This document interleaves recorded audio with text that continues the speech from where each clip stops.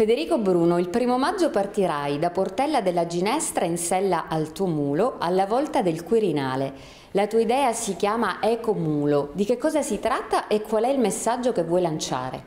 Allora, si tratta di un messaggio ecosostenibile, di fare vedere il nostro operaio che è il mulo. Tutto nacque da una poesia che ho letto su Portella.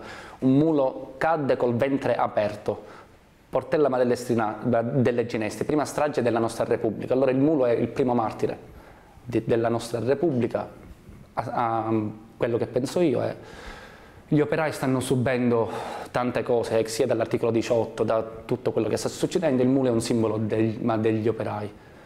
È anche una cosa che da bambino mio padre mi comprava i, i muli, era un grande appassionato di muli eh, ora sto facendo questa cosa con Mirko Adamo, che è il percussionista della piccola orchestra Malarrazza. Quindi tu vuoi sensibilizzare l'opinione pubblica?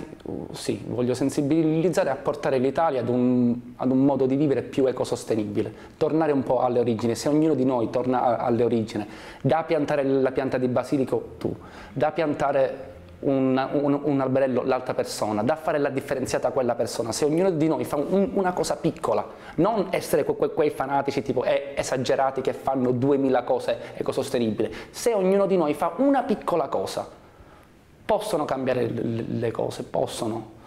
Questo non è il tuo primo viaggio, l'anno no, scorso hai già fatto sì, un viaggio. è come lo due. Il primo circolo musica e, e cultura fu fatto da, da, Peppino Impastato per dare la musica folk in Sicilia, per rivalutare tante cose. Noi, noi abbiamo rifondato con il mio presidente Salvo Ruvolo il nuovo circolo musica e cultura per ridare voce alla musica folk in Sicilia e tutto quello che è rurale, tutto quello che è bello della nostra terra.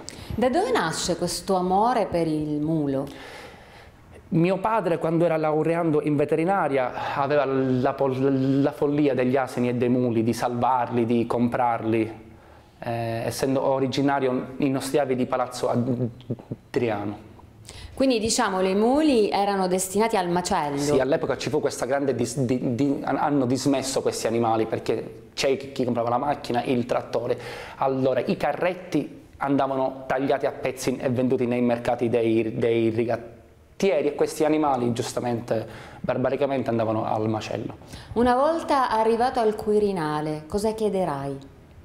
Ancora molte cose sono sotto via di sviluppo perché sto chiedendo a tanti ragazzi, a tanti, a, perché non è una cosa solo mia, è del popolo, è di tutti i ragazzi, sto chiedendo tante cose da chiedere e metterò insieme un pacchetto per, per tutto quello che devo chiedere, principalmente NoTav, che è una cosa su cui io tengo, non, ne, non, pensare minimamente a toccare l'articolo 18, che questo è un altro punto, l'ecosostenibilità è un, una cosa che mi sta molto a cuore, è la fabbrica dei cani di Green Hill in Italia che fanno i beagle per la vivisezione che è una multinazionale americana, tenuti in un modo barbaro e poi impacchettati in tutto il mondo. L'Italia, essendo un paese che si reputa molto animalista, dovrebbe mettere un fermo a questa barbarie.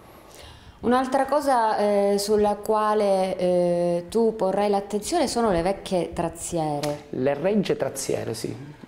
Io, io cercherò, usando due libri, Ippovie di, di, di, di Sicilia e Ippovie d'Italia, di, di trovare più regge traziere possibile per poter fare i vecchi percorsi che si facevano una volta. Come si chiama il mulo con, con il quale partirai quest'anno? Si chiamano Giuvà e Palù, Giovanni e Paolo, due servi dello Stato. In onore ovviamente. Certamente.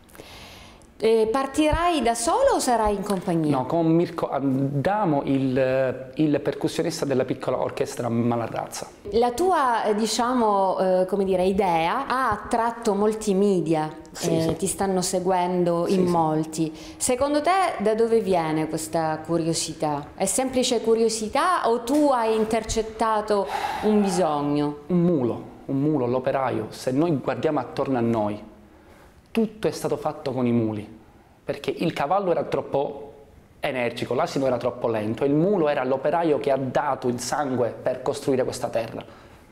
Il, il, mulo è il vero simbolo dell'operaio, un animale docile, bellissimo, che può lavorare tutto il giorno, coricare l'indomani mattina si sveglia e riparte tranquillamente. Qualcuno ti ha definito un moderno Don Chisciotte. Sì. Tu cosa ne pensi?